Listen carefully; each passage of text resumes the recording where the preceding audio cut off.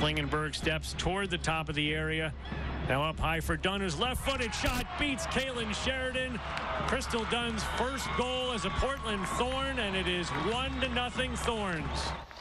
Well, Crystal Dunn will have a rose waiting her when they come back. That long and happy flight back from New Jersey. Uh, joined now live in New Jersey by Crystal Dorn. The Crystal Dunn should say the uh, got it done. First Thorn goal. Uh, Crystal, uh, you've been waiting for a little bit of time. You know you're gonna have a lot more of those, but the first one feels like what to you now, and you get a win as well. Um, it feels really special, obviously. Um, the team played really well. Um, obviously, getting a win uh, makes the goal feel that much more special. But yes, it is my first goal as a Thorn, and I'm just really, really happy about that. Talk us through what this road trip is like, really the last week, right? Three matches in eight days, which happens a few times in the NWSL schedule. You guys manage it as well as you can.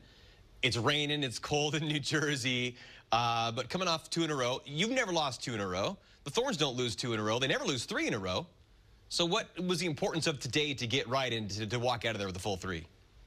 Yeah, honestly, it's been um, a tough road. Three three games in you know just seven days. But weirdly enough the results haven't been matching the performances. So um, you know losing two games in a row is a bit of a bummer. But looking back at the game clips we're like guys we're doing all the things right. What we're just not doing is kind of you know that final pass that final shot um, and I think going into today's game, we just realized, you know, we don't have to change anything. We just have to play our game and, um, you know, let the rest do the work. And um, I think the performance today was really spot on. And obviously, getting a shutout is incredible as well. So uh, we're really excited to get back home and uh, play another game in front of our fans.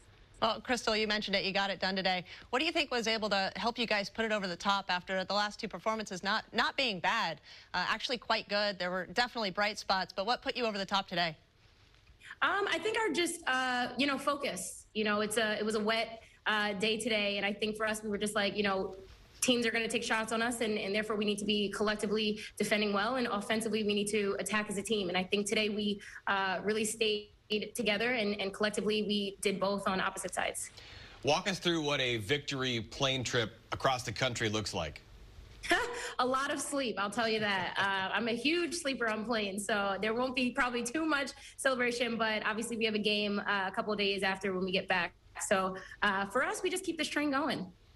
Well, you have a, a, rose or two waiting for you on Saturday night in front of the home fans again. As the season goes on, we'll bring back more fans. So Crystal Dunn, star of the match tonight. Congrats on your first goal. Thank you.